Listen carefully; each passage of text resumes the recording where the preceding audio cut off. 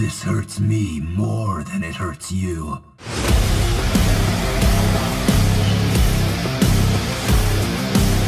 This world shall know.